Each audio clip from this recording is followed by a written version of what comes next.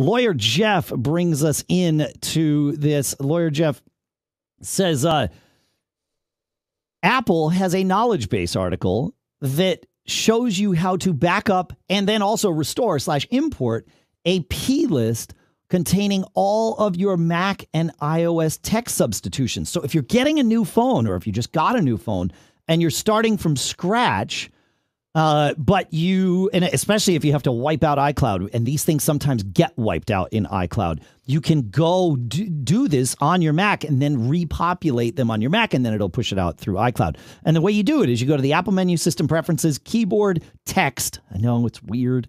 And then uh, you can select all the replacements you want to export, including Edit Select All, and then you just drag them to the desktop and that will create a backup file named text textsubstitutions.plist. And then you can even edit that file with TextEdit. So this is like super geeky stuff if you really want to get into it, which I love. So, and then uh, and then to bring them back in, you uh, you, you know you just uh, drag them back in from the text pane, and you're good to yep. go. So you can yeah right. filter down. I know it's great. Yep. So if you're ever having, I, I have a feeling this is going to be something we now use as a troubleshooting step, John, because there are times when those things will not sync, right? Like the text substitutions don't sync across. Well, now that we know how to back them up, which I think maybe has been there before and we just didn't know it. This is what I love about learning at least five new things every time we get together because we get to learn too.